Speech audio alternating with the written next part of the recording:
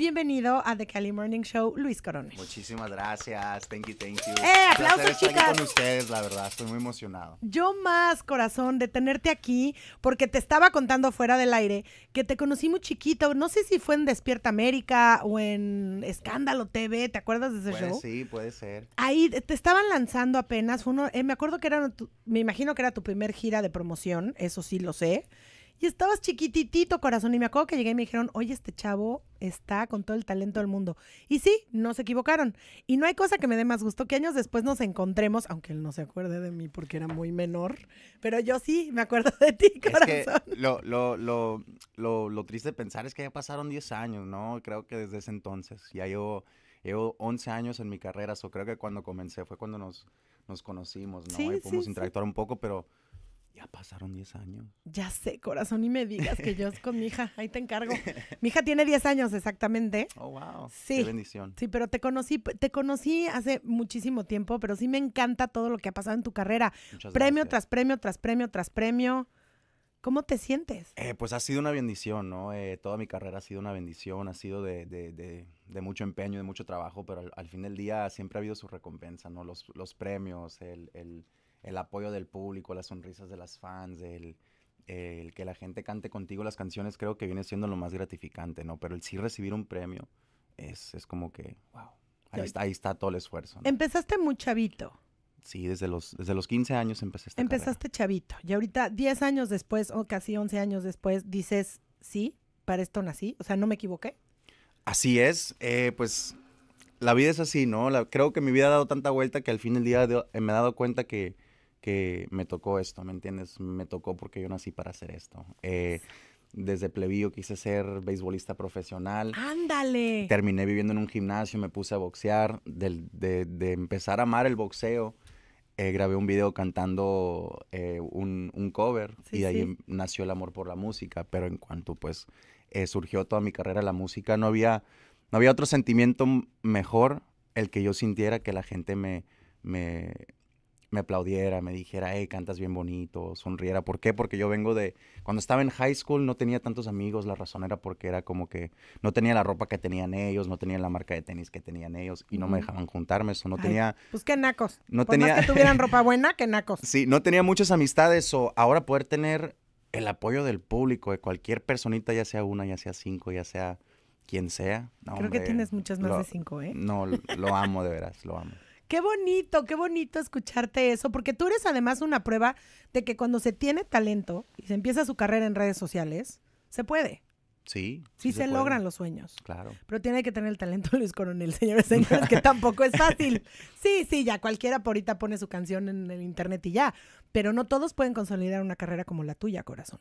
Sí ha sido complicado, no ha sido nada fácil, ¿no? Y me gusta, me gusta decirlo para que la juventud lo entienda, ¿no? Porque siempre sí se requiere esfuerzo, no es como que una carrera y te ponen los platos en la mesa, ¿no? Es, es de echarle muchas ganas, es, es buscar la manera de cómo sobresalir cada obstáculo, porque al fin del día hay un reto en cada, cada cosa que te propongan hacer, ¿no? Hay un reto, hay algo que o te beneficia o te, vas, o te va a hacer mal, so hay que saber exactamente todo. Y mi carrera ha sido así, un, un roller coaster, pero de todos los de todo, perdón, de todo el, el, el- los obstáculos que viví, he podido aprender de lo que es la carrera musical. No, pero por su pollo. Y eso, te vemos cada vez. Bueno, yo me, me das mucho orgullo, te digo, me siento como tía, como tía orgullosa. Muchas gracias. Porque te conocí muy chiquito y creo que nos pasa a todos. Sí Creo pasa. que el hecho de que, mm, de que estés creciendo eh, frente a nosotros, eh, no nada más musicalmente y con tu éxito, sino que estés creciendo literal frente a nuestros ojos, hace que te, que no sé, que te como que te queremos más, como que No, muchas gracias. y como verdad. empezaste, insisto, en redes sociales, en YouTube, todo eso, como que te sentimos más nuestro, más auténtico. Y creo, creo que eso es algo con lo que no mucha gente puede contar. Muchas gracias, de veras, se los agradezco muchísimo. De verdad, se siente muy bonito verte. Y de pronto, retos, este, nunca en mi vida te imaginé conduciendo un programa. Que la última vez que te vi, estabas grabando tus promos de Estrella TV y yo estaba enfrente de ti así. Hola, me ¿Serio? tocaba a mí después grabar. Te digo que no te acuerdas de mí, pero sí estaba yo ahí sentadita a que esperaras para que... Yo era la loca que me cambiaba en el foro. ¿No te acuerdas que había una loca que se cambiaba en el foro? Que decía que qué flojera ir al camerino. Esa era yo. La cosa es que... Es que, oye, las mujeres usamos tacones y nadie piensa en eso. Ya. Entonces tienes que ir caminando con el tacón hasta el camerino, cambiar. No, yo les decía, háganme aquí un. Un este, cuartito. un cuartito y aquí me cambio. Entonces me pusieron como unas paredes ahí, obviamente, de madera, y ahí me metía, yo me cambiaba y ya salía. Y... Cierto. Ahí ¿Hace está, qué tanto fue esto? Ay, el año pasado. no ¿Cierto? tanto. Hace poquitito. Ahora que estábamos grabando la, la nueva campaña de. Ya sé. Uy, te voy a molestar ahora que te ven estrella.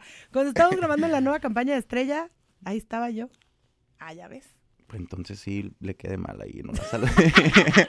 ahí sí, perdón, Lo ahí peor sí. es que sí me saludaste. Mm, no, no, no, ya, ya. Sí, no, en ya. serio. Sí, sí me saludaste. No, Hola, pues ¿qué tal? entonces sí estoy mal, yo estoy mal. ya. No te, pero no te preocupes. También ya una señora de cuarentona, ¿qué? Nah, tiene ¿qué que ver. No, pues Pero sí ahora soy. sí, le, le- le ¿Ahora sí prometo que ya cuando la vea, ya, ahora sí. Pero háblame de tu hijo, que no es que soy Ahora, tu ahora que tía. te vea, ahora que te vea. Soy que- como tu tía, hijo, por favor. Pero bueno, ¿de dónde sale este relajo de la conducción? Que por cierto lo haces espectacular, pero ¿cómo fue que te invitaron? ¿Cómo fue que llegó? ¿Qué, qué, qué- qué- cómo? Eh, pues gracias a Dios, eh, ese, ese canal, ese programa, Tengo Talento, Mucho Talento, ha sido definitivamente como familia para mí. Desde que inicié mi carrera, pues empecé, la primera vez en televisión fue estando en Tengo Talento, literal. La primera vez que estuve en televisión fue en Tengo Talento.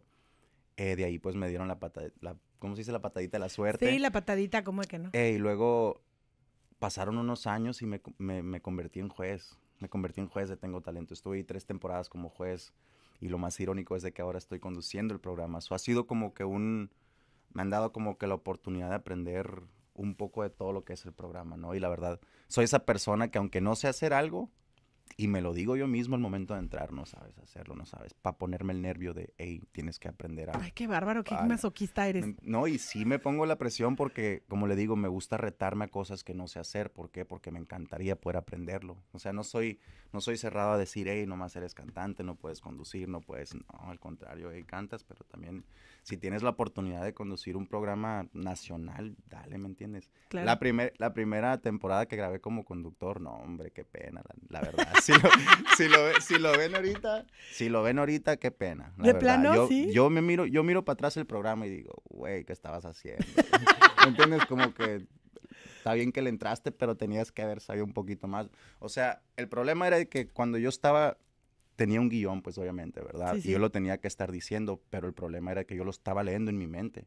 Claro. No lo estaba expresando a las cámaras, pues. Yo estaba en mi mente leyendo y ni viendo a las cámaras. Sí, pues sí. Lo estaba dirigiendo el programa, pero ni viendo a las cámaras, ni viendo al público que está en casa. O sea, pues. está- tú estás So, dirigiendo a tus otro- so- amigos imaginarios ahí en el Ándele, estudio. Ándele, y so no yo, me, yo me estaba dirigiendo a todos los que están en el estudio, pero no al público. So ya dije yo, ah, me dijo mi mamá, mi hijo, parece que estás hablando solo, dice.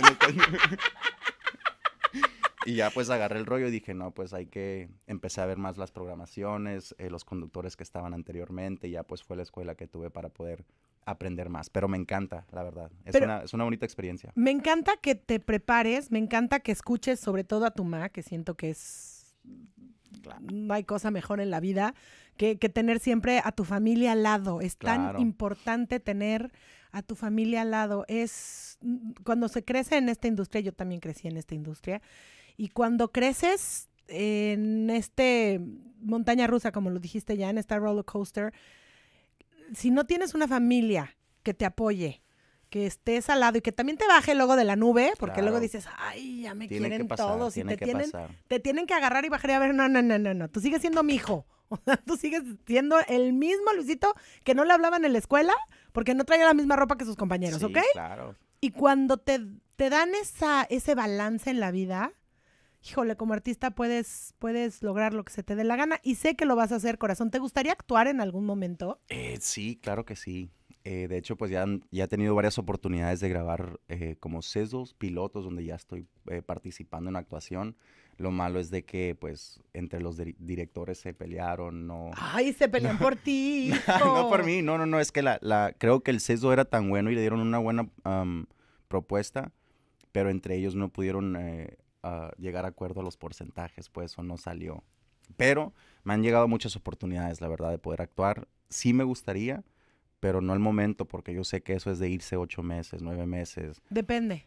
Pues sí depende. Tú pero júntate por- conmigo, yo te, yo te, te digo cómo Ah, pues Yo te digo, depende- Si me voy unas dos semanas y puedo regresar para cumplir con el trabajo que tengo por acá, entonces bien, Eso lo está hago, eso está eh, canijo, dos semanas sí digo, no. pues, Sí, por eso Pero digo. podemos inventar algo aquí y hacer algo juntos y ya, eso está más padre. Ándale, Inventémonos ándale. algo. Una peliculita y algún- Sí. una película de 15 minutos. Que nos, no, pero nos podemos aventar dos semanas, paramos tantito y regresamos otras dos semanas y ya tenemos la peli. ¿Cómo no? Le entro. ¿le entras? Le entro, sí. Órale. ¿Cómo no? Me late cacahuate, como de que no tendrías que cantar en la película, eso sí. ¿Para qué viene? Como esas películas que hacían antes en los 60s, donde cantaban y, Y bailaba en los bailaban. teatros. Ajá. Va, exacto. Le damos. Hijo, me caes tan bien por entrón. me caes tan bien. Y es que me imagino que cuando te fueron llegando todas estas cosas, todas estas eh, eh, oportunidades en tu vida, ibas diciendo, sí, le entro, ¿cómo de que no? Yo voy, ¿cómo de que no? Órale. Y así, así, nomás sencillito. Sí, pues, eh, sí. Es que venía de, de- de no tener tantas oportunidades, pues, o cuando miraba alguna oportunidad. Y, y les recuerdo, no, no es por, no es por eh, tocar ese tema, sino que venimos de, de- bajos recursos, pues, Sí, de no claro. tener tanto económicamente. Y al momento que me dijeron, hey, pues te voy a dar un, un, un sign-on bonus, te voy a dar un dinerito para que firmes contrato, te voy a dar acá, acá", Yo, Sí, pues. mi mamá ocupa casa, estamos viviendo en casa de mi tía. Dije yo, eso lo puedo usar para rentar una casa, ¿no? Un ¿Y le rentaste la casa a tu Sí, mamá? claro que sí, con ese dinerito, claro. Fue el primer dinero que me dieron, so ya después de ahí, pues yo, lo malo, ¿no? Lo bueno y lo malo. Sí. Hay dos cosas. Sí, sí, sí. Lo bueno es de que en ese momento, pues yo sí buscaba la oportunidad y me dieron la oportunidad y dije yo, pues salió la oportunidad para mí, salió la oportunidad para agarrarle un, un hogarcito a mi mamá que Qué pueda rentar bonito. lo que sea y sale una carrera, no sé cómo voy a hacer la carrera, pero pues salió la oportunidad, ¿no? Gracias a Dios no defraudaste a nadie, No, corazón. gracias a Dios. Sí ha sido un poco complicado por, por, por eso, ¿no? Por, por desde el primer día que dije yo, hey, pues está la oportunidad económicamente, voy a firmar contrato sin saber que estaba firmando, ¿no? Sí Claro. me puso en un, en, un, en un aprieto, pero como le digo, no hay, no hay nada mejor que saber que mi madre está bien, que mi madre está feliz ya el contrato, pues eso es. ¿Ya tiene es casa propia? menos. Sí, gracias a Dios. ¡Ay!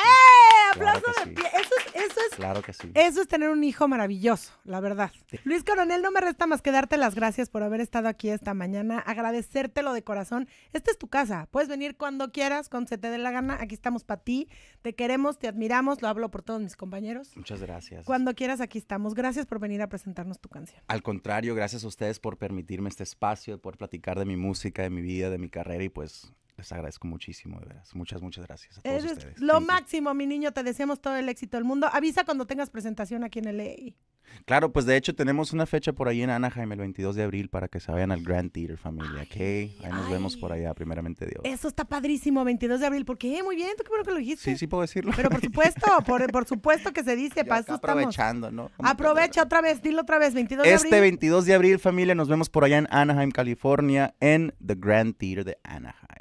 Ya estás. Invitados, por favor, ¿eh? Gracias, Me avisan cuántos boletos ocupan and I'll take care of it. No, 130. No, no es cierto. o sea, va toda la banda. Igual. No, no es cierto.